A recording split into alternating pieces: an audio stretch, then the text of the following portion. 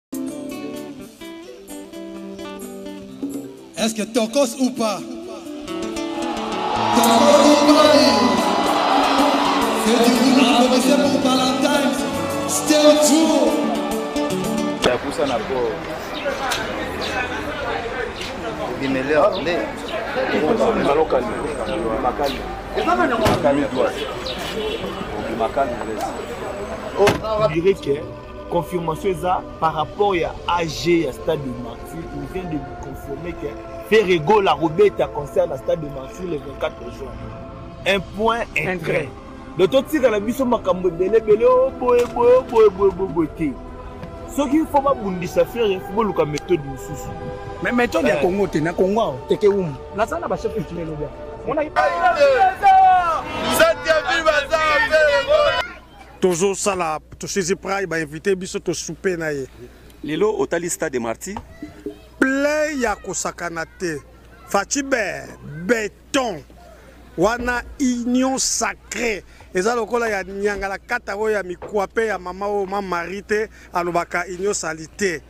mare wana oyo asakanaka bomoni plein plein oyo meme la moitié ya stade tika fera otondisa stade wana tika fera tranquille 24 atondisa stade bobongisaka baambulansi mpo jour yango bokomema fere na mama yemo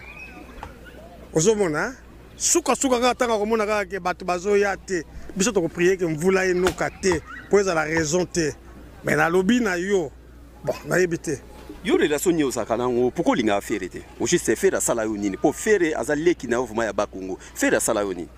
te ya pourquoi olingaka fele te ya ba Congo te loba ya ba fleuve po biso na ye tokatisaka po maréchal na ba Didier Masuki tozokende na ba Mayombe ba Kinza Uvete ba Chela ba Lukula ba Lemba ba Sinkini c'est mon petit frère de la maison mais aza na mentalité ya bazombo akabaka te asimba drapeau ya flambeau soki lelo fere azotala parce que aotala émission nini okoloba na ye mpo makambo moko mpe esila mbabo otika ye tranquille azaleki na yo te omoni fali aza misisa munde na mboka omoni fali biso parmi bafondation to baring oyo toza na yango bafali bacontribue fali ayebi qu'est-ce que c'est business fali apesaka omonaka na le news soki opatipati omona fali opatipati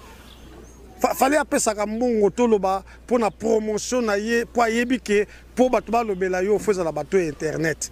biso toya na polemique na internet tofandisa yango siko fere akotaka biso doute biso tokoki komatisa kaka eh, moto te ke o tomatisa ye bo te ntango aofuta te todiminaka ye eza mabe mpo tozolia te meno eza verité